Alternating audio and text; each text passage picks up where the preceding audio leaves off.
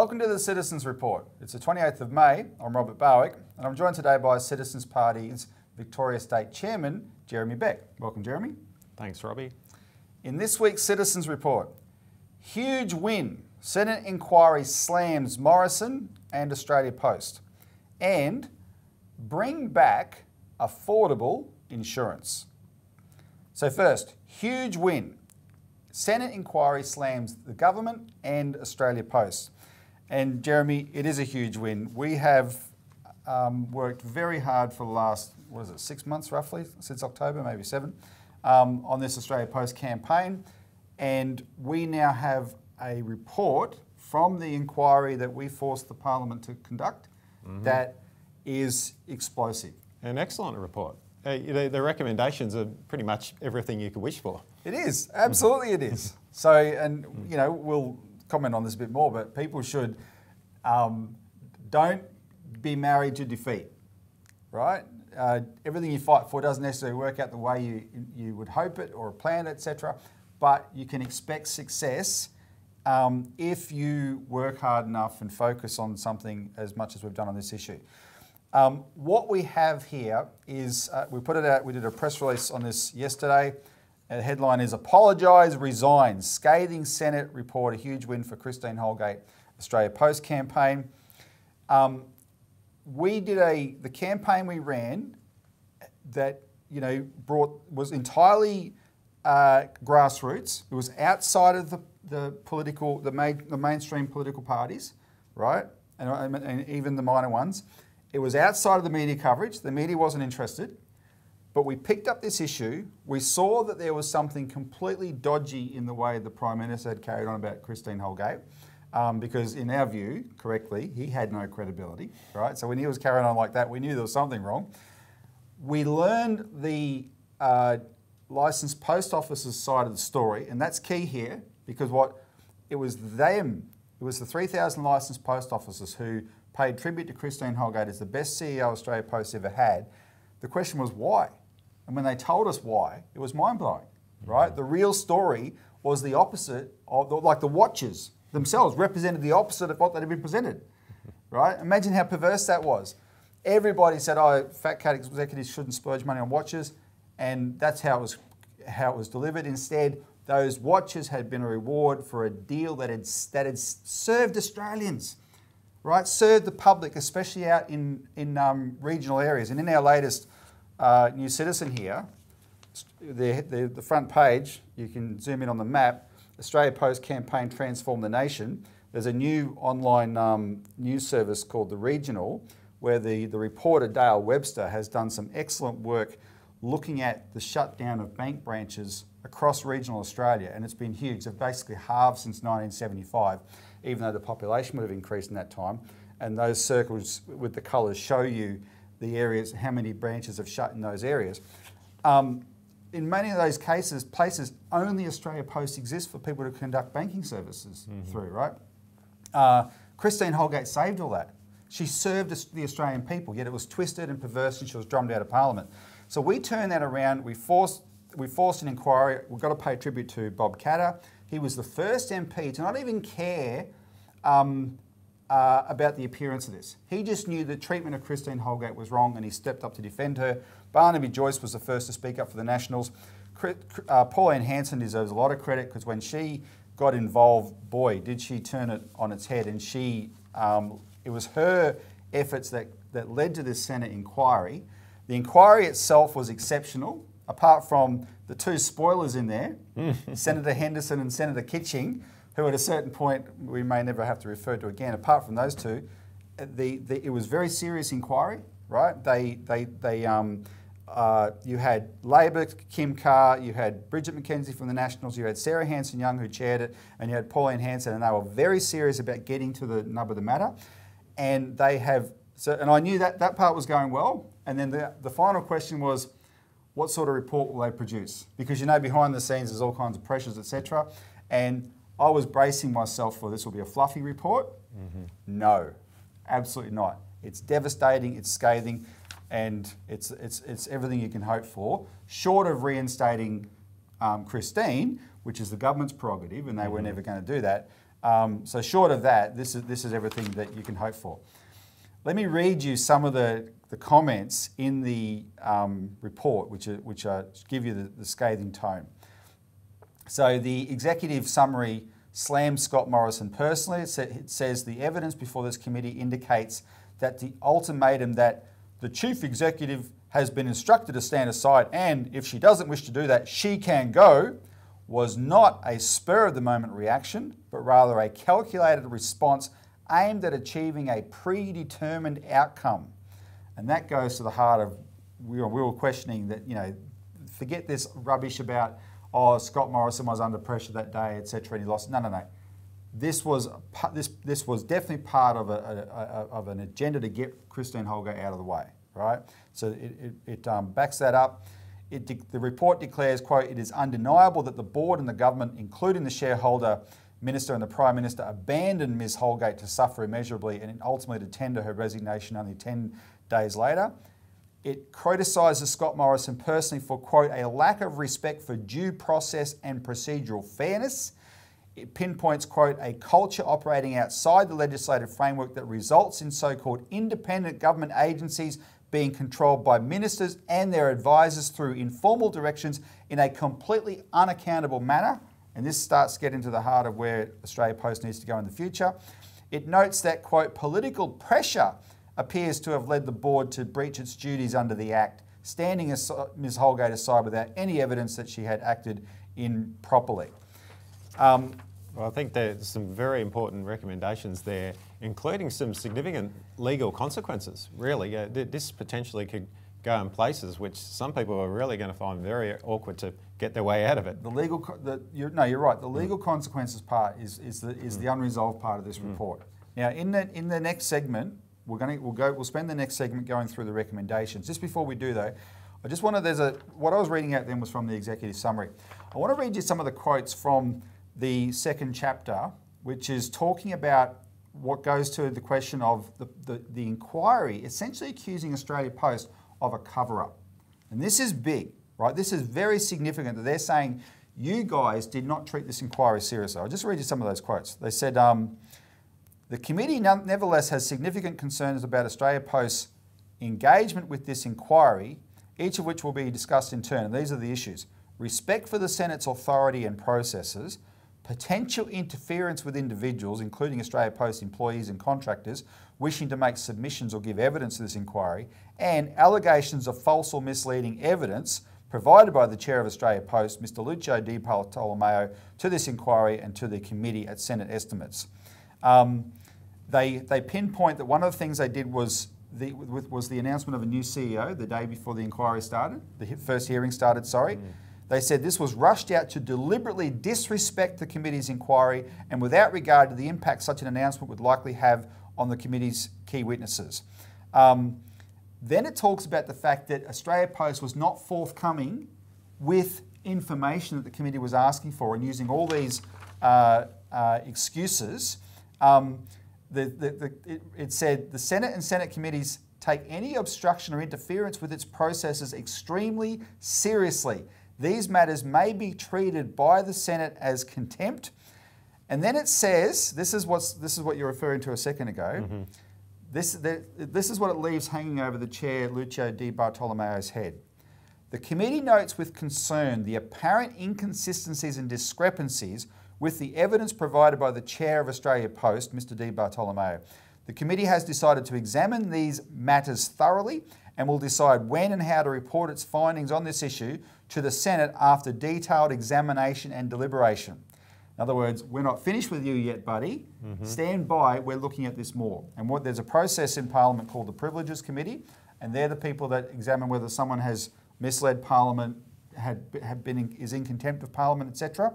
And that is what's hanging over the Australia Post chair and board, and potentially the government as a result of this inquiry. Right. So this this is huge. Let's take a break. When we come back, we'll go through the recommendations that Jeremy was talking about.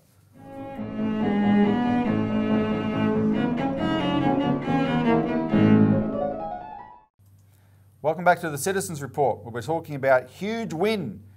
Senate inquiry slams Morrison and Australia Post.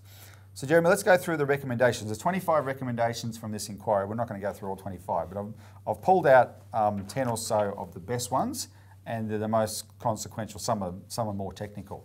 Um, and we'll, we'll give you, we'll describe what it is and then elaborate a bit. So, recommendation number four is for an Auditor General investigation of the legality of Communications Minister Paul Fletcher's instruction that the Chair Standis Christine Holgate aside. And this, earlier I referenced this thing where they talked about the informal arrangements between the ministers and these government business enterprises. This, this goes to the heart of that. When the Prime Minister said she can go, and the, the, the minister said to the chair, Christine Holgate needs to stand aside, it's like it's well and good to say that. He had no authority to say that, and the chair had no authority to implement that which is why actually the chair lied and said she'd agreed to, because he actually couldn't force her, right? And she didn't agree to. But this, this, is, a, this is a big deal. And what, it, and what came out of the inquiry is this is actually a common practice. These ministers are casually and informally saying to these government business enterprises that are supposed to be independent, do this, do this, do this, right? And they're breaking their own rules. And so this is going to be a big issue for Paul Fletcher, the communications minister, going forward, and it should be because his behaviour has been appalling. Um, recommendation number five the Prime Minister, shareholder ministers, and board apologise to Christine Holgate. And, you know, we live in a civil society. That's exactly what they should do. Recommendation number six the Solicitor General investigate the legality of the instruction to stand Christine Holgate aside. What I said earlier, but this time the Solicitor General. Um, recommendation number seven restore the independence of the board. And this has to be a no brainer right? If you, the, the, there were so many Liberal Party hacks on this board of Australia Post. They've made a joke of the organisation, right? And what, and, and don't think we're singling out the Liberal Party here.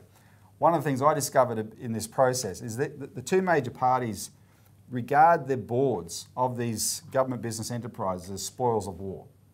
Right? They win government, clear out the other top, the other side's directors, we'll put our own in. Well, that's happened before with Australia Post. You, you had you know, Labor, Labor Party political hacks in there, and yeah. now it's Liberal Party it's political Liberal Party hacks. hacks.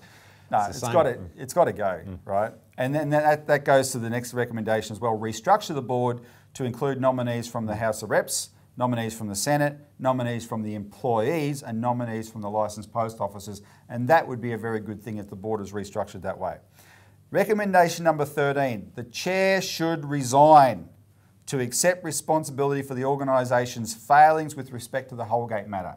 And that, if that happens, that would be a great outcome because right now nobody has any confidence in this chair based on, on his actions. It's not just that he was on the side of the government, therefore you, it's hard to single him out from the government.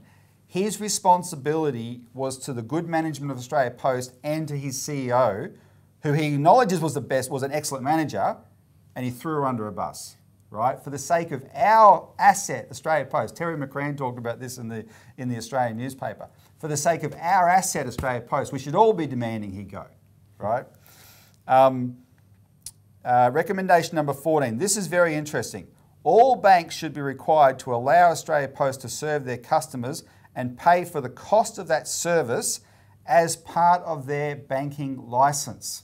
And what this means is at the moment, um, three of the four bank, big banks did a deal with Australia Post for this bank at post thing. They are the ones that did the deal with Christine Holgate in 2018. ANZ didn't.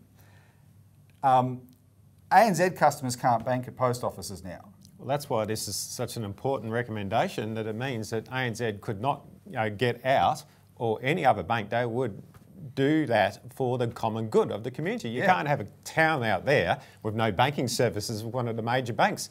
Now, these are big four banks. They have some responsibility, or should, or it should be legislated. No, exactly. So uh, this, this is saying make it a requirement of the banking license. If you have a banking license, mm. you have to let Australia Post serve your customers, mm. and you have to pay the cost of them doing that. Mm. Right. That'll also mean that the deal that has been so consequential for the licensed post offices that made them viable, but now it's coming due to expire. And if the banks don't renew, they'll be back to where they started. That won't happen. It'll mean the, the, the banks will always have to renew the deal and, and the um, Australia Post can stay viable. Um, Recommendation uh, 17 the government expressly rule out privatising Australia Post in whole or in part. And, and I'll just end on that one because, look, that is, Jeremy, the, of all the things we've achieved with this campaign, that is the most definitive victory. Not only have they said expressly rule it out, the government's already done that. Mm. Right now, this is a government that yeah, yeah, you can't trust them, and all that. That's all true. But you've got to read the you got to read the, the terrain here. They are heading for the hills. They're not game to touch this now that it's blown up in their face. It'd be just so politically toxic for them to go around now and privatise Australia Post. It just won't happen yeah. in, in, this term of, of, office. Sure, yeah, we have to be on our game. We can't be complacent. Uh, next government could easily go for a privatisation, but this is a huge victory right now. I would say it, I would say they wouldn't be game to touch it for a few terms. Yeah. That said, we have good sources, and mm. I can tell you those sources are very well placed, and they've confirmed, despite all the denials, mm. that this was ever a factor. The gov- they have confirmed it absolutely was what the government was pushing for. And now we have that we have made it blow up in their face. That's the most definitive accomplishment of this campaign. We didn't we didn't go into this anticipating that would be the outcome, mm. but we have achieved that outcome, right? So, and that credit for that goes to the public who watch this show, watch the other shows, subscribe to the Australian Alert Service, but more importantly, participate in the campaigns, the calls you make, the emails you send, the flyers you distribute they're all incredibly important in getting us to this point, right? This is how we change public opinion um, on this issue. And now, where do we go from here? I mean, there will be, we'll keep an eye on the ongoing things that have to be yet to be resolved. This here I'm holding up is the explanatory memorandum of the bill that we're putting up to Parliament, the Commonwealth Postal Savings Bank Bill 2021 right? We will provide a flyer version of this that people can share, share around so that explains how it would work. This is where we're going next. Now's the time to actually get this bill introduced into Parliament, get it debated and get it voted on, right? Because this is something that connect one everyone in this campaign in all the politi political parties paid lip service to this is a good idea. Let's actually achieve it, right? So you'll see our, our um, uh, efforts focused on that um, uh, as we go forward. All right, let's take a break because when we come back, we're going to talk about another aspect of a national banking system, which is not banking, it's insurance.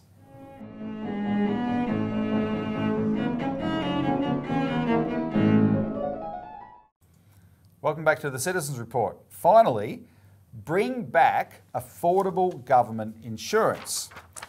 Now, this is a, an interesting subject, Jeremy, and um, we're going to be reminding people, hopefully, of how things used to be. Um, we decided to do it because in the budget there was this little item that I described from the Morrison government, Morrison and Frydenberg, as a good-ish policy to um, uh, set up a $10 billion reinsurance pool. The government will contribute to a $10 billion reinsurance pool for Northern Australia. Now, I call mm. it good-ish. What do you yeah, think of that? that? That's a bit generous, Robbie. but look, the, the government claims that this will save over 10 years, $1.5 billion in insurance premiums for yeah. Northern Australians for specifically cyclone damage and the flood-related damage from cyclones. Now, we've yet to see whether that will eventuate. Uh, maybe it will just be a, a, big business bailout, an insurance company bailout. Yeah, that's what you got to look out for. I, I, think that's the concern we have.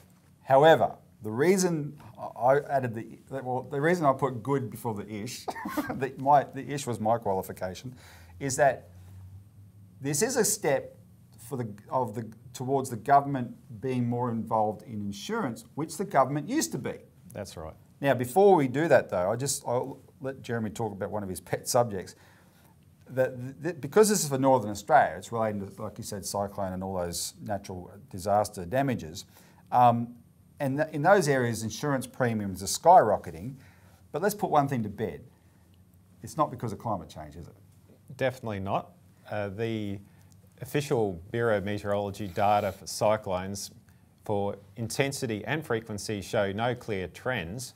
In fact, it appears, if anything, uh, the cyclones are not as bad as they were decades ago, but that's up for debate. But there's certainly no clear trends that yeah. there's some you know, major problem. Uh, and this is true worldwide. If you look at hurricanes or wild weather, there are numerous different official government agencies around the world that measure these things and say, oh, look, it's not true, that they're not increasing in frequency or intensity. And that's just the big insurance company beat up to try and justify their enormous premiums. So what's the other likely explanation for, premium, for premiums in these areas skyrocketing is this. For close to a century, Australian governments used to be involved in insurance. They had government insurance offices um, that operated, like I said, for close to a century, but they were privatised starting in the 1990s. And since they were privatised and government has not been involved in providing insurance um, cheaply, mm. insurance premiums are skyrocketing because that's what happens when the private sector gets a monopoly on something. They just extract as much profit as they can. So tell us about this article you've just written about uh, SGIO in Queensland. The State Government Insurance Office was commenced with legislation in 1916.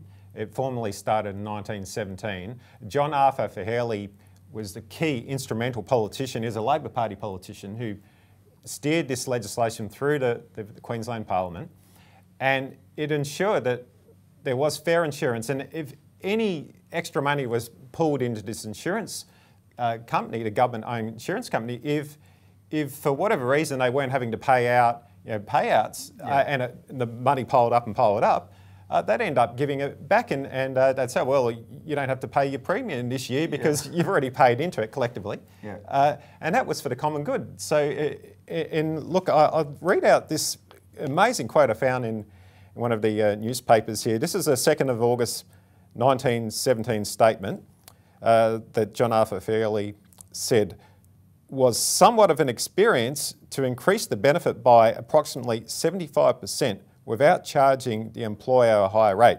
The government is well pleased with the position, and premium payers will no doubt have undergone the novel experience of being told, firstly, that greatly increased benefits under the Workers' Compensation Act would not cost them a penny extra, and secondly, that not only would it cost nothing more, but that £18,500 too much had been paid. This advertisement for state insurance is a splendid one, and I fancy it is the first instance in the history of accident insurance where the benefits have been amplified and the premiums at the same time cut down. Uh, now that that is incredible. A private insurance company will just pocket the profits. Yeah, yeah of course. That, that, that's exactly what that would be. Um, this institution that exists to make sure that, hey, go, let's have a system where we're all covered, mm. right? And that's the purpose. That's what it can do, with backed up by the wealth of the government. We, we can put this little graphic there um, that we run here, which is from the, the Daily Standard on the 16th of March 1920, where three years after your quote, um, he's announcing another premium um, mm-hmm. holiday because, right. because the, uh, they had plenty of money in the pool. Yeah, well, exactly right. It was a, basically you, you get. Uh, two, two years insurance for the price of one year's premium. and look, that's, this is what we need to go back to. We need a financial system that serves everybody. We propose a national banking system with different aspects like a postal bank, a development bank, but you also need insurance that can make sure people get insured because we, it's a productive part of the economy out there. But Jeremy, we're out of time. Thanks for joining us. Thanks, Robbie. Thanks for tuning in. Tune in next week for more.